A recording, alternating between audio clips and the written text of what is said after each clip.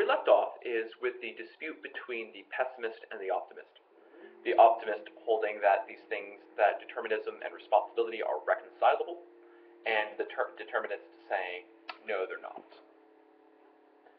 So, we want to speak on behalf of the optimist, that even if determinism should turn out to be true, then we can still make sense of our ideas of responsibility, right, and of obligation. By the way, just a quick note here, a quick sidebar. Um, Strawson isn't saying that determinism is true, right? He's making it a conditional, right? He's saying if it should turn out to be true. So he's not committing himself to the truthity or the falsity of determinism. Truthity, that's not a word. The truthhood, the, the truth, truth, it's just the word truth, isn't it? There you go. Um, the truth or the falsity of determinism. Um, but he's saying, but he wants to say that no matter how that debate turns out, we can still make sense of the idea of responsibility. So, how does he get here? Well, he, so, uh, so you get an insight if you happen to have your text with you. On page 151 and 152, he has, um, he has, he has sort of two sentences that really indicate what he's getting at here. On page 151, towards the bottom, under, you know, about halfway through where section 3 starts, he writes, um, I want to speak, at least at first, of something else, of the non-detached attitudes and reactions of people directly involved in transactions with each other, of the attitudes and reactions of offended parties and beneficiaries, of such things as gratitude, resentment, forgiveness, love, and hurt feelings. So in thinking about praise and blame and responsibility, what he wants to do is he wants to focus on those cases where it's really hard to detach the agents involved, or you know, the people involved, from the attitudes formed, right? So he wants to consider something like gratitude, or as the name of the essay indicates, resentment. And so if you flip to the next page, the third sentence on page 152, he writes, The central commonplace that I want to insist on is the very great importance that we attach to the attitudes and intentions towards us of other human beings, and the great extent to which our personal feelings and reactions depend upon or involve our beliefs about these attitudes and intentions. So, the central idea for Strawson, right, the central, in a sense, the central metaphysical idea, or the central claim about human nature that he's most interested in, is that um, we attach a lot of importance to others' attitudes and intentions. Not just a little bit of importance, right? I mean, so much importance that we structure our lives around these things. I mean, think about what we do to impress other people, right? Think about the things that we do and the things that we say so that other people will like us or not like us, or uh, avoid people not liking us. You know what I mean, friends. I mean, the fact is, is that we care a whole lot about what other people think about us. I mean, and you might say that, you know, you're a free spirit and, you know, you just could care less, but in fact that, you know, either you're a sociopath or you're a liar, right? Because the fact is, is that we care deeply what other people think about us, right? When you submit a paper to me, you care what I think about this product of your work, right? When we talk with our friends, with our parents, with our neighbors, with our significant others, we care about what these people think about us. And that's just a fact of experience. I mean, this is something we know. I mean, this isn't like hidden from us, right? This isn't something we had to discover through really difficult scientific investigation. This is as obvious as the nose on our noses on our faces. Right? So we care deeply what other people think about us, right? And how other people treat us. If you do something to me accidentally, I'm likely to let it go. If you do something to me intentionally, I'm likely not to let it go. Furthermore,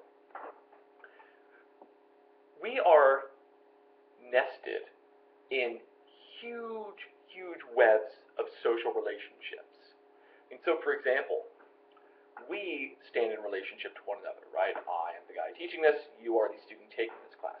But even then, right, this isn't like a typical teacher-student relationship. right? I mean, I never get to actually interact with you in person, right? Unless we happen to run into each other on campus, right? You know, we don't get to sit down and talk in my office if you're having a problem with a particular philosophical idea.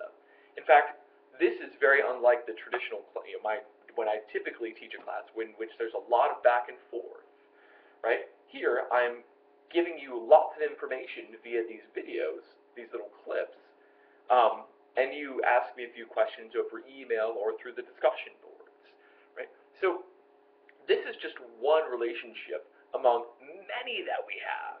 I mean, think about your parents, your significant others, your really close friends, your kind of close friends, your okay friends, right? People that you might talk to at a party but not outside that party, your coworkers that you kind of get along with, your coworkers that you don't really get along with, your neighbors, uh, you know, people you meet while walking down the street. I mean, all of these are social relationships that we have, and all of them are different, right? Things you might say to your parents aren't going to be things that you say to your boss, right, or to your friends or things you might say to a significant other, you're not going to say to your, uh, you know, to your friend. Well, well, you might say them to your friends. Uh, you, you certainly wouldn't say them to your boss or to your to, to your teachers.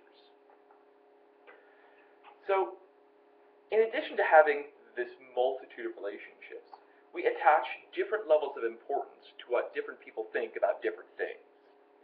So, for example, um, you know, I care deeply what some of my colleagues think about my own teaching and research. Um, I don't care too much about what the what the checkout clerk at the uh, liquor store thinks about my teaching and my research.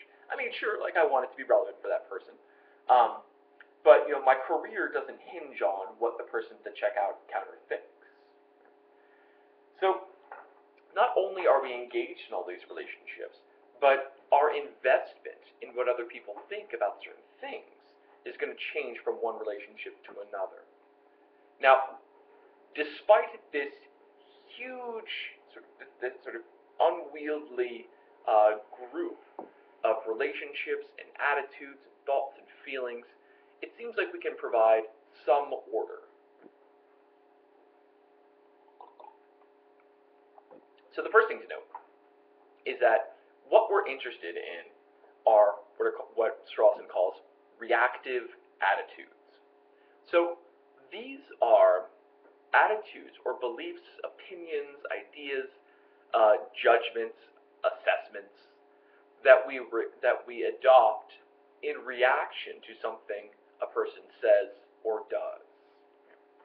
So we're interested in reactive attitudes, right? Ways we respond to others, ways others respond to us. Now, there is one pervasive feature of our social lives, um, aside from our reactive attitudes. So, again, if you happen to have your text with you, if you take a look at uh, on page, take a look at page 153, he says, uh, you know, uh, the penultimate final paragraph of section three. Um, he says that in general, we demand some degree of goodwill or regard on the part of those who stand in these relationships to us.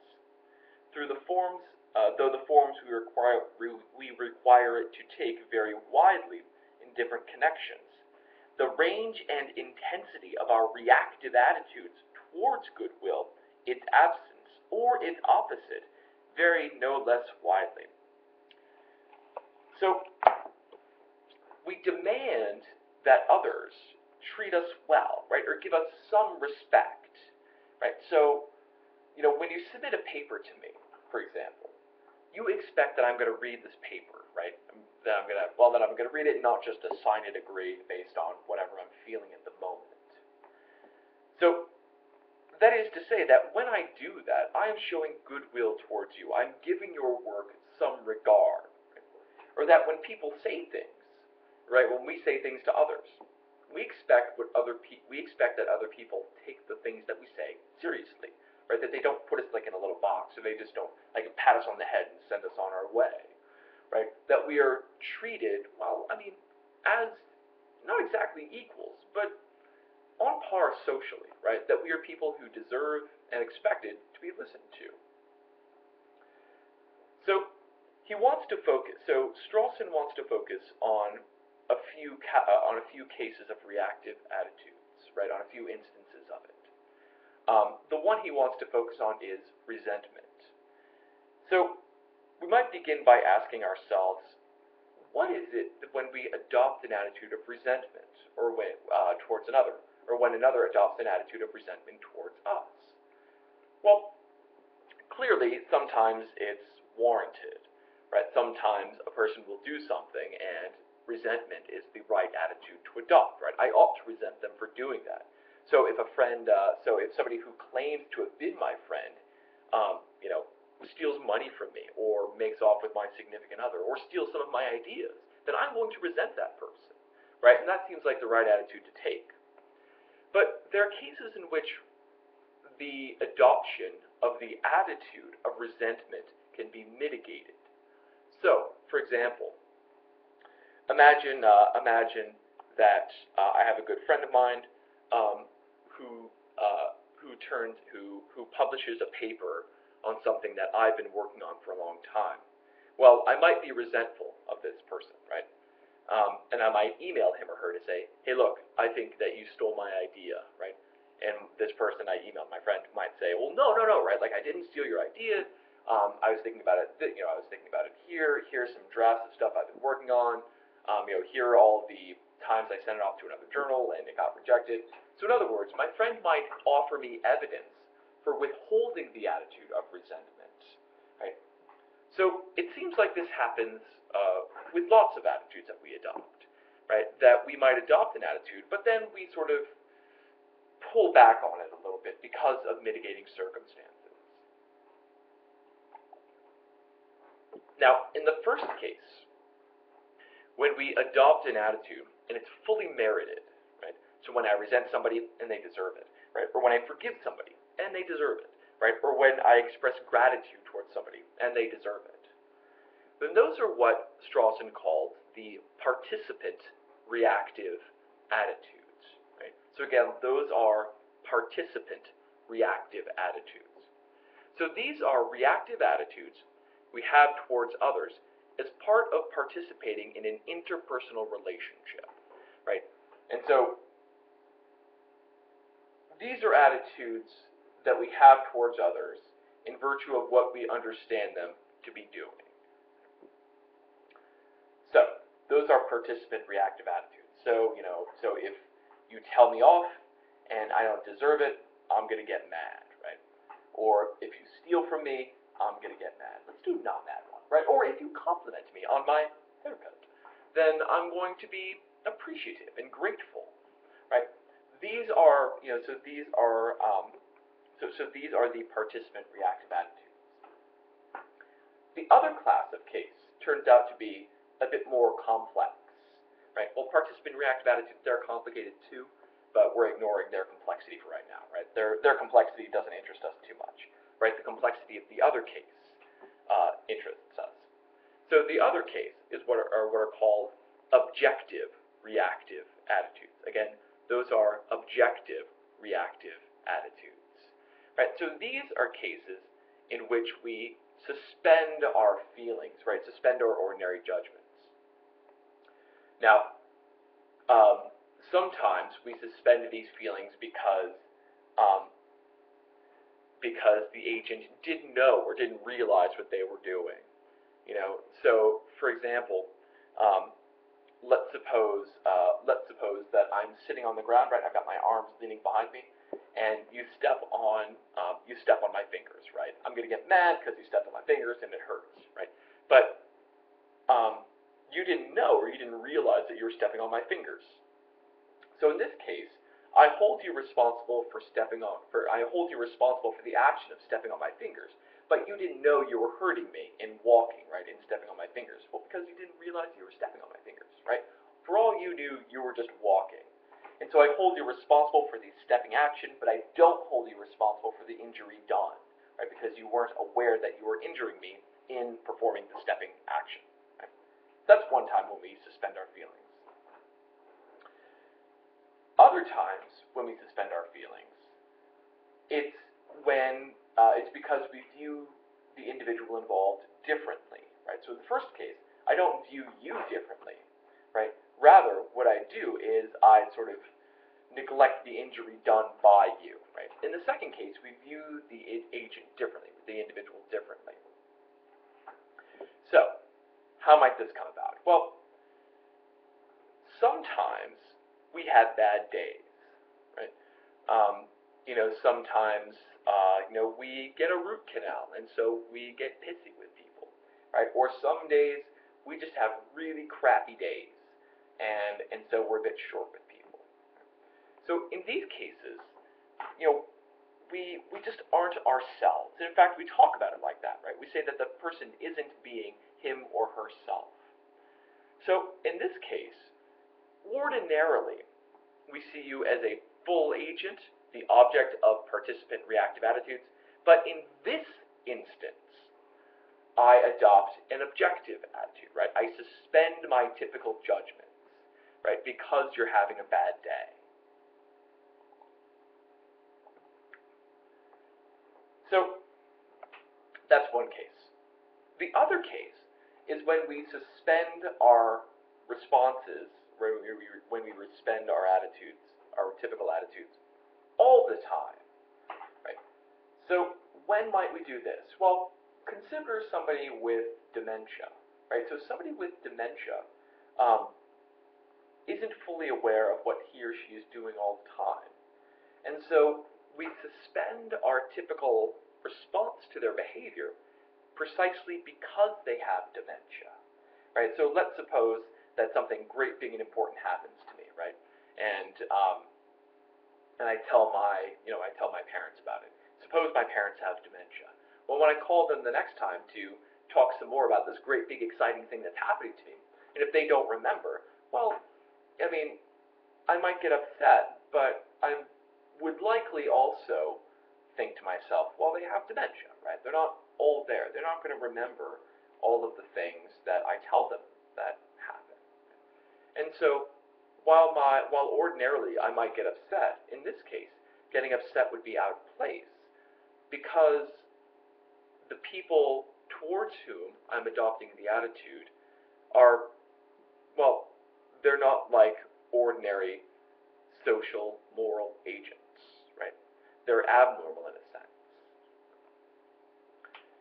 So the way that Strawson talks about this this final case that we just mentioned, where where all the time the individual um, is exempt from the typical participant reactive attitudes, um, he says that we're seeing the recipients of these attitudes in a cool, objective way.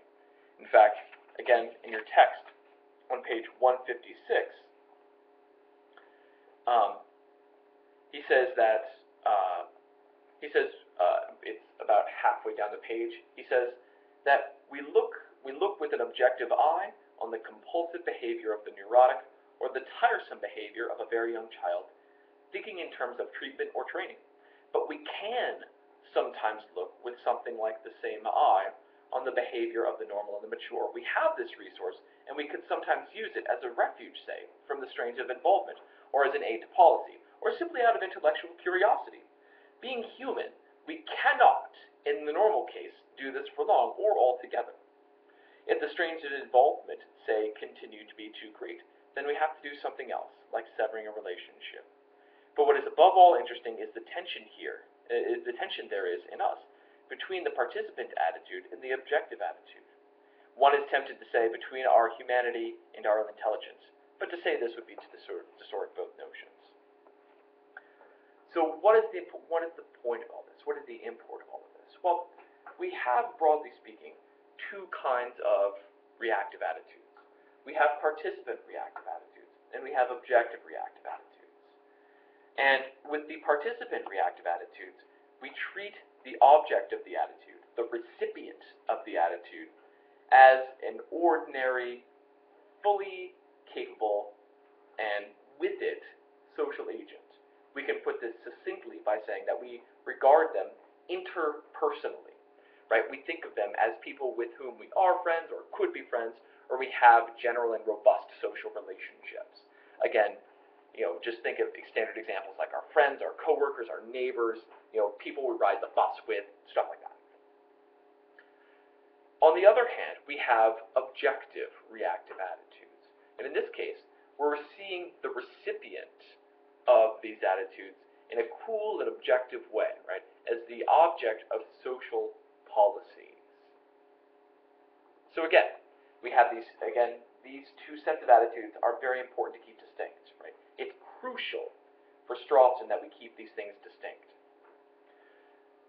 Because he then asks us, suppose we accept, for the sake of the hypo, you know, for the sake of the argument, let's say that determinism is true.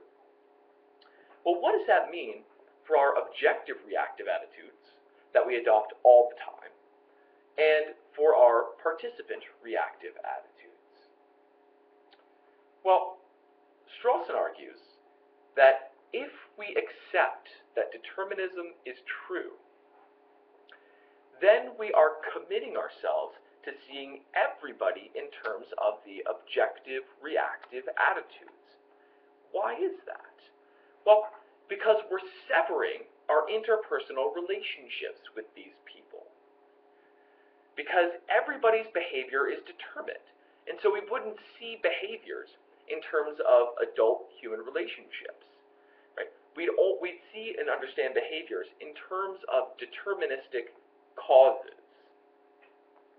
So, in other words, we have to excuse everybody's behavior. We have to think of everybody's behavior as being like that of somebody with dementia or somebody with schizophrenia. Right? Their behaviors are the product of deterministic causes. So we would see everybody uh, in terms of the objective reactive attitudes. Right? We have to distance ourselves from everybody. Right? But you can imagine how this might turn out. So suppose that you insult me one day, right? Um, in, you know, you say something like, "Hey, nice haircut, Lassiter," right? So my initial impulse is to get mad, be like, "Well, screw you, buddy," right? But if determinism is right, I'd have to think to myself, or I would think to myself, well, they did that because you know maybe they had a bad day, right? If we're going to be sort of Humeans about it, right? Endorse psychological determinism. Or if I'm going to be a Spinozist about it, I might say, well, they couldn't have failed to say that. They really had no choice in saying it. So you know what? I'm just going to let it go. So if determinism is true, right? If we accept, more precisely, if we accept the truth of determinism, then we are committing ourselves to seeing all behavior in light of objective reactive attitudes that we adopt with people who merit them all the time. Now, could we do this? In principle, yeah, right? So Strawson says it's conceivable that we could do this all the time. But it's practically inconceivable. He says that um, you know, he says that you know even though we could imagine a world like this, we can't imagine our world like this. It's just not part of our everyday lives right? We just, I mean, we can't do it, right? Go back to that initial mundane, commonplace fact that he started with. We care so much about what other people think of us, and we care so much about the intentions and the attitudes of other people. Right? That's a basic fact for us. That's not something we're going to give up. But if we accept the truth of determinism, then, well, it seems like in a way, we'd have to give it up, right? If we thought of determinism as irreconcilable with, you know, holding people responsible. So, we simply can't adopt objective reactive attitudes all the time, right? It's just, it's, it's simply not possible, right? It's not possible for the ways, for the lives that we live, right? For the attitudes that we actually have. And in fact, um, again, if you happen to have your text, um, on page one, uh, on page 159, towards the bottom, he says that our, right, towards the bottom he says this commitment, so our commitment to ordinary interpersonal attitudes that we adopt and that get uh, sort of, you know, that are, get thrown back towards us, this commitment is part of the general framework of human life, not something that can come up for, for review as particular cases can come up for review within this general framework. So the idea is that we simply, we can't give this up, right? This is part and parcel of what it is to be human. To give this up would to be, would to fail to be human, right? We can't give up these interpersonal attitudes. So,